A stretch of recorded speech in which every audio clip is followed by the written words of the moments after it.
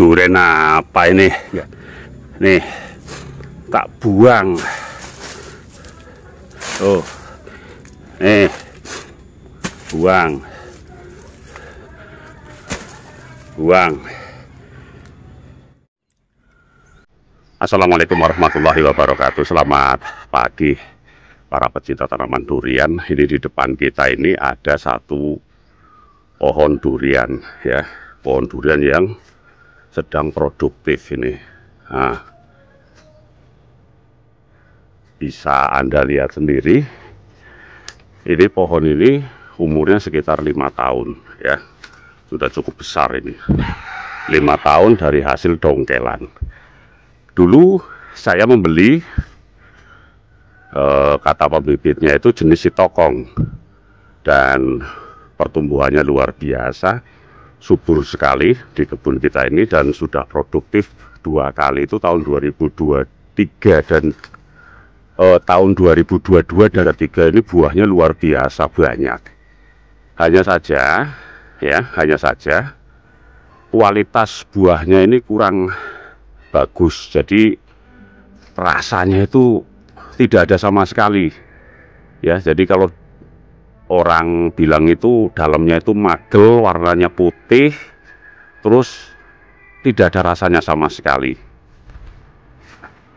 Ini buahnya sangat sempurna si tokong ini. Tapi ya itu aduh hambar nggak ada rasanya sama sekali ya. Oke.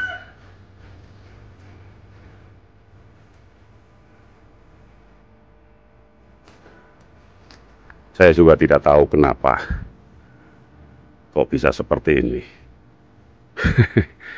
Buah bagus, tapi rasanya nggak ada sama sekali.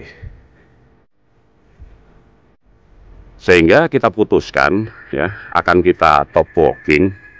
Nah, ini kita akan potong ini nih Nah, dari ketinggian sekitar satu setengah meter dari tanah kita potong kemudian nanti kita akan laksanakan top walking ya. Supaya gimana ya nggak ngecewakan lah. Ini durian si tokong ini sangat-sangat mengecewakan. Ini ada yang jatuh nih ya ada yang jatuh. Ini sempurna sekali buahnya nggak ada busuk satupun. Tapi tuh dalamnya nih putih dan tidak ada rasanya nih ya putih dan tidak ada rasanya. Hmm. benar-benar anyep. Anyep sekali. Nggak ada rasanya. Ini bujinya juga besar sekali. Jadi tipis. Ini yang mengecewakan ini. Yang membuat kita akhirnya mengambil keputusan untuk melakukan perubahan top walking. Nah ini sangat-sangat mengecewakan. Kalau baunya harum sekali. Jadi magel ini. Ada yang mateng ada yang keras dagingnya. Ini sudah tiga kali. Tiga kali ini seperti ini terus. Sudah kita lakukan berbagai macam cara dengan menaburkan. Ya ada garam lah kapur dolomit kemudian beberapa jenis obat yang eh, pupuk yang sekiranya katanya bisa membuat durian ini manis tapi faktanya tetap seperti ini. Maka akan kita lakukan potong saja pohonnya tapi tidak kita buang. Kita manfaatkan untuk batang bawahnya nanti ini. Ini sudah lumayan besar. Kita potong nanti kita top walking kita sambung ya. Sehingga ada perubahan nantinya yang kita harapkan dengan kualitas buahnya. Oke kita lakukan pemotongan.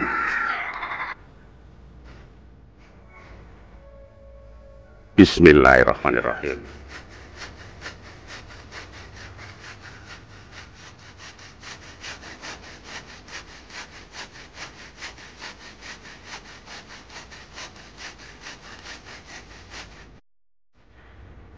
Alhamdulillah sudah roboh. Wah, karena pohonnya ini sudah lumayan besar ya ini jadi ya lumayan berat ini duriannya tuh nah tuh jangan nanam si tokong lah. Nah ini. Ini juga duriannya itu. Ya. Nggak ada rasanya sama sekali. Terpaksa kita potong seperti ini. Nanti kita akan sambung ini ya. Tunasnya ini akan kita manfaatkan untuk batang lanjutan di sini juga. Nanti kita top walking uh, lumayan. Ini. Uh, roboh sudah Alhamdulillah. Ya jangan nanam durian sitokong mengecewakan sekali. Duriannya bagus tapi untuk rasa tidak ada sama sekali. Lebih baik dipotong saja. Jadikan batang bawah nantinya. Uh tetap semangat. Durian apa ini? Nggak ada gunanya. Jangan tanam durian jenis sitokong. Sia-sia. Nih tak buang. Oh. Nih buang. Buang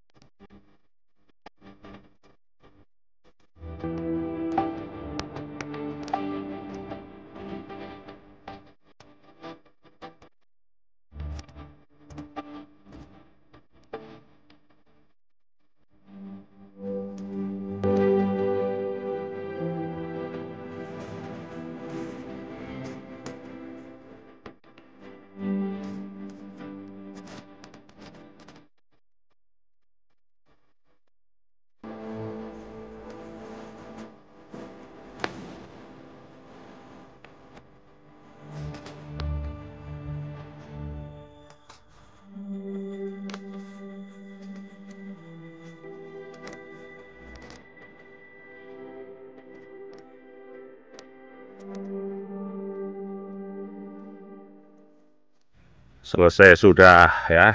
Kita top walking mudah-mudahan tumbuh mantap